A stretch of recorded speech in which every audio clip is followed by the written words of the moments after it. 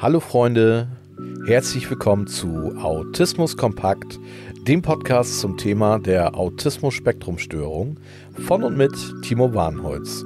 Wir starten sofort ins Thema. Schön, dass ihr da seid.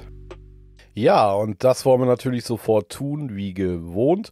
Und heute ist ein, ja, besonderer Tag, denn wir schließen heute eine Reihe ab. Und zwar werden wir uns heute das letzte Mal für ja, etwas längere Zeit mit der Wahrnehmungsverarbeitung und vor allen Dingen mit den Besonderheiten in der Wahrnehmungsverarbeitung beschäftigen. Und als letztes steht hier auf meinem Zettel das Thema Tiefenwahrnehmung. Und äh, ja, die Tiefenwahrnehmung, ähm, das ist durchaus so eine äh, Begrifflichkeit, hm, da können sich jetzt erstmal die meisten Menschen nicht so viel drunter vorstellen. Und deswegen deswegen gebe ich euch mal eine kleine Definition dazu. Die Tiefenwahrnehmung, auch als Tiefenempfindung bekannt, bezieht sich auf die Fähigkeit des Menschen, die räumliche Dimension und die Entfernung zu Objekten in seiner Umgebung zu erfassen. Sie ermöglicht es uns zum Beispiel, die Position von Objekten im Raum zu verstehen, Abstände einzuschätzen und uns sicher durch unsere Umwelt zu bewegen. Tiefenwahrnehmung spielt eine entscheidende Rolle in der räumlichen Orientierung und der Fähigkeit, körperliche Aktivitäten zu planen und auszuführen.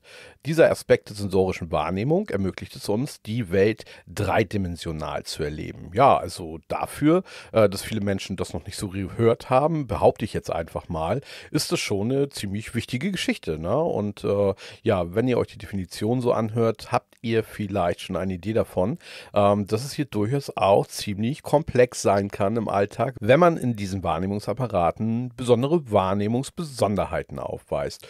Und äh, wie immer betrachten wir das Thema einmal von der überempfindlichen Seite und dann natürlich auch von der unterempfindlichen Seite. Und äh, wir starten wie immer mit der Überempfindlichkeit in der Wahrnehmungsverarbeitung. Und ein Zeichen für Menschen, die hier in diesem Bereich besonders überempfindlich sind, ist äh, die Vermeidung von Tiefen und Höhen. Das bedeutet, dass äh, Menschen mit Autismus hier zum Beispiel sich in Situationen, in denen es um bestimmte Tiefen oder Höhen geht, ähm, sich nicht besonders wohlfühlen. Zum Beispiel könnten sie Schwierigkeiten dabei haben, Treppen zu steigen oder auf erhöhten Plattformen zu stehen.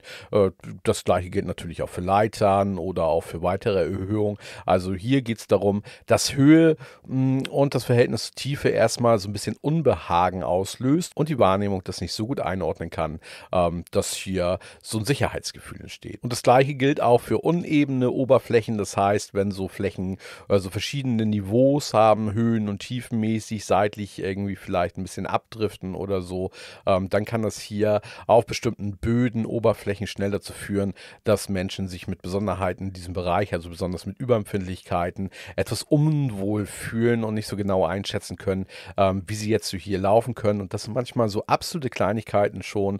Zum Beispiel, wenn so Kieswege oder Steinwege so verschiedene Oberflächen und Höhen haben, wenn zum Beispiel die Steine unterschiedlich groß sind und man immer so ähm, ja mit so einem Seitwärtsfuß überall rauftritt, weil alles nicht so begradigt ist. Und das gleiche kann aber auch auf ganz weichen Untergründen und Flächen passieren, nämlich zum Beispiel auf Rasen. Auch der ist ja in den meisten Gärten nicht so hundertprozentig gerade und ordentlich und auf dem gleichen Höhen- oder Tiefenniveau.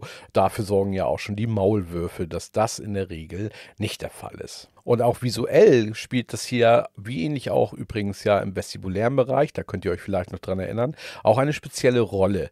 Und ähm, hier ist es so, dass so bestimmte Tiefeneffekte zum Beispiel sehr schwer in der Intensität rüberkommen. Und das betrifft zum Beispiel so Dinge wie ähm, sehr starke Kontraste, aber auch 3D-Filme. Hier kann es sein, dass einfach in der Wahrnehmung überhaupt nicht klar ist, werde ich gleich hier getroffen oder nicht getroffen, wie gefährdet bin ich hier hier.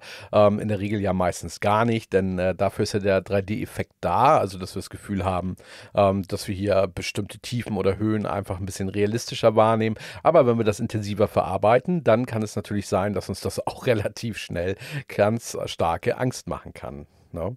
Und äh, ja, ein wichtiger Punkt ist auch der Punkt der räumlichen Orientierung, also mit äh, tiefen Wahrnehmungsüberempfindlichkeiten könnten Menschen Schwierigkeiten haben bei der räumlichen Orientierung und der Einschätzung von Entfernung zum Beispiel. Ähm, dies könnte sich in Unsicherheit bei Navigieren im Umfeld manifestieren. Das bedeutet, die Menschen könnten zum Beispiel ein ganz klares Beispiel, das ich sehr oft beobachte, ähm, größeren Abstand zu bestimmten Möbelstücken oder Menschen halten, weil sie nicht genau wahrnehmen können, ob sie diese gleich umrennen oder dagegen stoßen.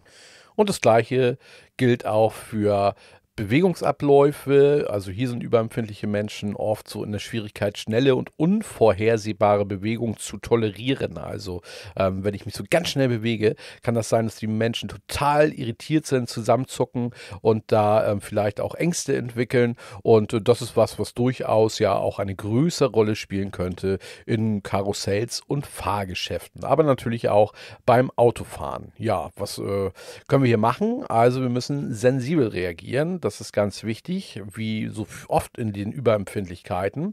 Und immer damit rechnen, dass vielleicht schon kleine Höhen oder vielleicht nur ein Stein, der an der falschen Stelle liegt, ein ganz großes Unbehagen bei äh, Kindern, aber natürlich auch bei Erwachsenen auslösen kann. Und äh, deswegen muss man da einfach auch ein bisschen Gefühl für entwickeln und natürlich auch Toleranz sein. Ne? Denn äh, für mich ist zum Beispiel eine Treppenstufe nichts Besonderes. Das, da bin ich relativ entspannt. Aber wenn ich hier überempfindlich wäre, dann könnte es sein, dass die die mich schon vollkommen aus dem Gleichgewicht bringt oder mir ganz starke Angst macht. So, und jetzt äh, wechseln wir natürlich auch die Seite und äh, da sind wir in der Unterempfindlichkeit und wie immer bringt die Unterempfindlichkeit ja ein sogenanntes Risikopotenzial mit. Das heißt, hier sorgt diese Unterempfindlichkeit zum Beispiel auch wieder dafür, dass bestimmte Gefahrenpotenziale nicht richtig eingeschätzt werden können. Und äh, das ist hier auch ein Thema von äh, Höhe zum Beispiel. Ähm, es kann sein, dass die Tiefenwahrnehmung hier so gestört ist und äh, deswegen Menschen überhaupt keine Angst haben, sich in hohen, großen großen Höhen zu bewegen. Äh, zum Beispiel äh, so Sachen wie äh, eine Tendenz entwickeln, gerne auf Brücken zu sein oder sich im Hochseilgarten zum Klettern bewegen oder grundsätzlich zum Klettern. Ähm, und äh, hier hat man immer das Gefühl, irgendwie, ähm, jetzt müsste langsam mal eine gesunde Angst eintreten, um die Menschen davon abzuhalten, dass sie auch irgendwo runterfallen oder sich wirklich in ernsthafte Gefahr begeben. Und äh, das ist hier nicht der Fall, denn die meisten Menschen, die hier unterempfindlich sind, die fühlen sich in hohen Höhen ziemlich wohl und haben nicht die Empfindung von Angst. Und das kann natürlich dazu führen, dass sie wieder große Gefahr entstehen kann. Genau, auch eine Unempfindlichkeit gegenüber schnellen Bewegungen, das hatten wir eben. Also genau andersrum als bei den überempfindlichen Menschen kann hier eine Rolle spielen und äh, das kann zum Beispiel dazu führen, ähm, dass äh, Menschen schnelle Fahrgeschäfte oder Aktivitäten äh, wieder auch besonders gut finden und das bevorzugen, weil sie einfach so ein bisschen mehr äh, Wahrnehmungsdruck brauchen, um überhaupt diese Bewegungsprozesse mit ihrer tiefen Wahrnehmung zu spüren auch, also hier in 3D-Film zum Beispiel, die geringe Empfindlichkeit gegenüber visuellen äh, Tiefeneffekten. Das heißt, autistische Menschen können weniger empfindlich auf visuelle Tiefeneffekte reagieren, die zum Beispiel durch 3D-Filme oder durch starke visuelle Kontraste entstehen. Und äh, hier sind die 3D-Filme, wenn da richtig viel los ist, äh, meistens sogar sehr angenehm für die Menschen, die hier als untersensibel ähm, deklariert sind. Und auch bei den Oberflächen ist es so, dass hier keine Irritation entsteht, sodass die Menschen vielleicht gerade da laufen, wo es ein bisschen uneben ist, weil sie das dann ein bisschen besser wahrnehmen und äh, da eigentlich drauf stehen, wenn man mal ein bisschen höher geht oder ein bisschen tiefer oder wenn man was so seitlich äh, absackt oder so. Das finden die eigentlich ganz gut. Ja, und das kann jetzt dazu führen, dass natürlich die Menschen dann so auch mal an so einem Hang langlaufen oder so. Auch wieder gerade bei Kindern natürlich ein größeres Risiko. Und auch vor räumlichen Herausforderungen gibt es ein mangelndes Angst Angstempfinden oder in Bezug auf diese.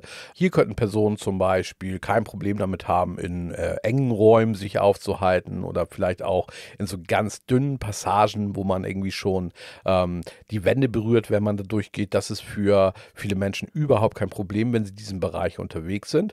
So, und äh, was sind jetzt besondere Kennzeichnungen, die man auch so wahrnimmt? Insbesondere bei Kindern, die hier ähm, unterempfindlich sind, fällt mir oft auf, dass die so äh, Zeichen haben, wie ähm, dass die an der Tür Türzage festhängen, wenn sie rausgehen, immer gegen Gegenstände stoßen, gegen Tische laufen, gegen Stuhlbeine und natürlich auch regelmäßig zum Beispiel andere Kinder umrennen, weil sie gar nicht wahrnehmen können, dass die viel näher dran sind, als sie das aus ihrer Wahrnehmung heraus jetzt gespürt hätten.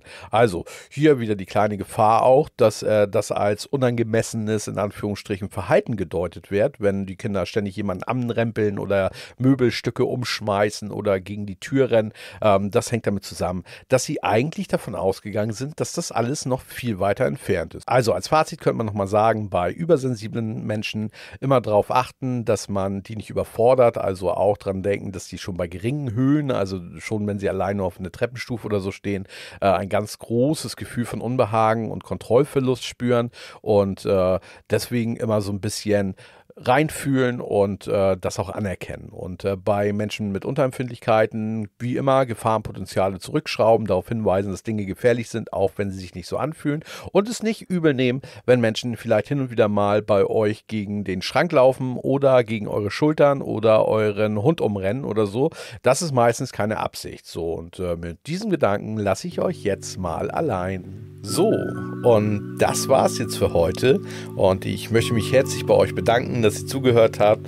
Das hat mich sehr gefreut und besucht mich gerne auch in sozialen Netzwerken, zum Beispiel bei Facebook oder auf Instagram. Oder abonniert einfach meinen YouTube-Kanal, wo ich euch auch einmal wöchentlich ein Video zum Thema Autismus-Spektrum-Störung präsentiere. Und lasst dort gerne ein Abo da, genau wie hier natürlich auch. Ich freue mich aufs nächste Mal. Bis dann. Ciao.